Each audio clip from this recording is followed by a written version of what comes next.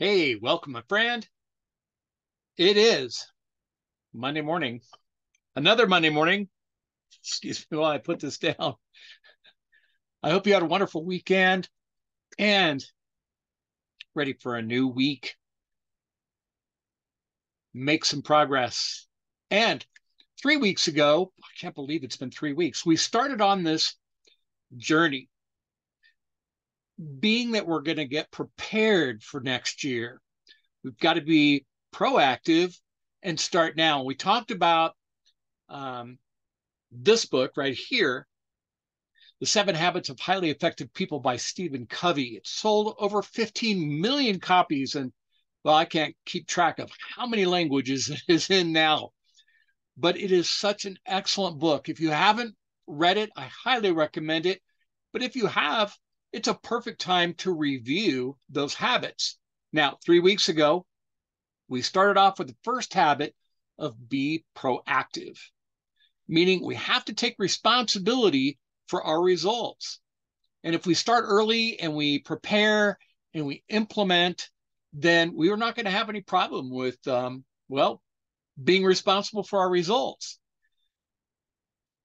Then the following week, we hit habit two, which is begin with the end in mind. Remember, everything is created twice first in our vision, in our mind, in our thoughts, and then the physical uh, creation, for lack of a better term.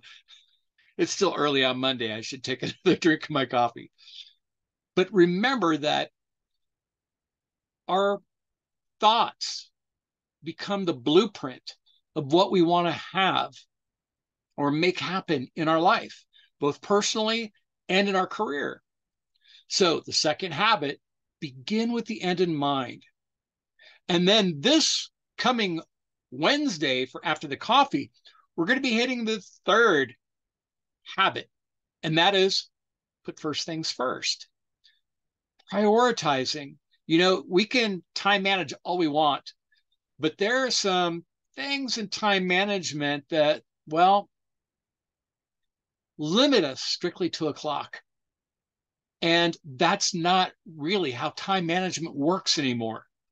That's old and out the window. And on this Wednesdays, after the coffee, I'm going to be sharing with you several ideas on how to reprogram your thinking around time management. Right? I mean, I I attended time management seminars so so long ago I don't even care to to share. But so much has changed and it's in the seven habits. You're going to find out the difference between the compass and the clock and what is more important than time. Interesting, right? So I hope that you will join me on Wednesday for After the Coffee so you can get some of these exciting insights from Stephen Covey. And it's out of his uh, current revision of the seven habits of highly effective people. So, with that being said, I hope you've got your high powered go juice so that you can tackle this week and make a difference. I will see you on Wednesday for After the Coffee. And in the meantime, as always, lead well, my friend. Oh, I don't know what I'd do without this stuff. I really don't. I know. Cheers.